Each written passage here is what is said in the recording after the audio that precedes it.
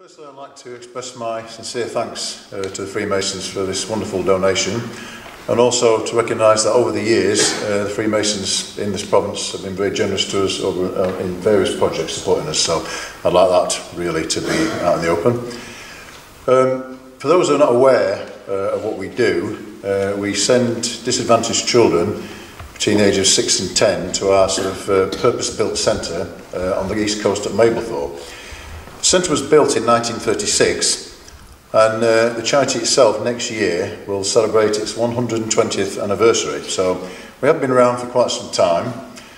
Uh, the centre is large, and because it's large, it has to accommodate a lot of children, uh, potentially 64 children per week, so well over 300 children per year uh, are sent there, for a variety of reasons. When the charity was founded, it was predominantly uh, sort of Victorian grinding poverty. Uh, that isn't always the case now.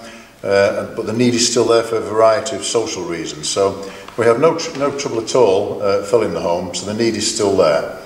Uh, as I said, it's rather a large centre, so it is quite expensive to run. So this will help us to continue to deliver our service and help the children of Leicester, Leicestershire and Rutland. So thank you very much.